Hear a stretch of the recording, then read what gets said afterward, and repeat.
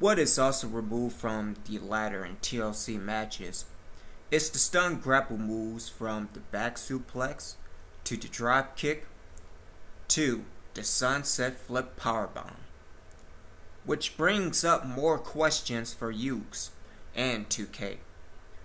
Why are these animations not in the game?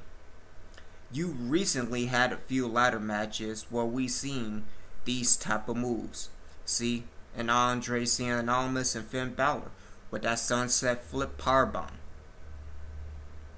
And yet, these little things, which brings moments, chaos, and excitement to the games, are removed. Have our standards dropped? Or is it just laziness? Only time will tell.